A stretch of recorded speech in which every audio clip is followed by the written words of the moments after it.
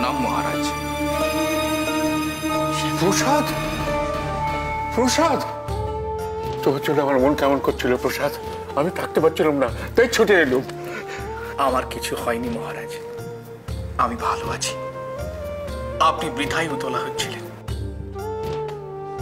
আমার কিছু হবেও না। যখন হবে তখন কীভাবে হবে? তা আমার এক গুরু আমাকে বলে গিয়েছে। বলো কি সেনাথ তুমি কি করে যাবে? তুমি তা জানো? হ্যাঁ স্যাঙ্গাত তাহলে তো বলতে হয় আপনার গুরু বিধাতা পুরুষ। রায়গুণাকর সাধকের কাছে গুরু তো তাই। বলুন দেখি মশাই তিনি আপনাকে কি বলে গিয়েছেন আপনার যাওয়ার ব্যাপারে? আমার গুরুদেবের দেহ ত্যাগের সময় তার অর্ধ নাভি গঙ্গা জলে নিমজ্জিত ছিল। তার প্রাণবায়ু ব্রহ্মরন্ধ্র দিয়ে নির্গত হয়েছিল।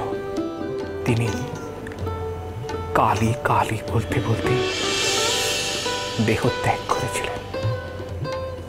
শেষবার গঙ্গায় নামার আগে। তিনি আমাকে বলে গিয়েছিলেন, আমারও যাওয়ার সময়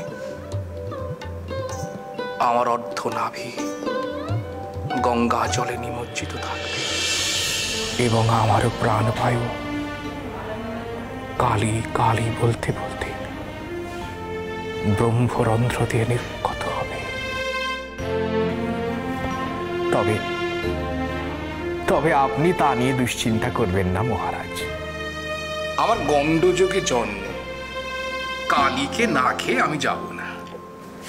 বলো কি তুমি কালি খাবে? হ্যাঁ সাঙ্গাত এবার কালি তোমায় খাব। গাও গাও গাও গাও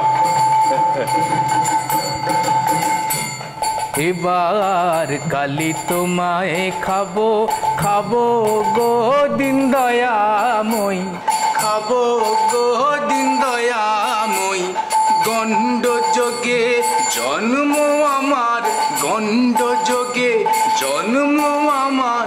খাব গো দিন দয়াময়। এবার কালি তোমায় খাব, এবার কালি তোমায় খাব। কালি মুখে কালি, সর্বাঙ্গে কালি মাখিব। হাতে কালি, মুখে কালি, সর্বাঙ্গে কালি মাখিব। যখন আসবে সমন, বাঁধবে পাশে। যখন আসবে সমন, বাঁধবে পাশে, সেই কালি তার মুখে দিব। গণ্ড যোগে জন্ম আমার, গণ্ড যোগে জন্ম আমার। এবার কালি তোমায় খাব, এবার কালি তোমায় খাব, এবার কালি তোমায় খাব।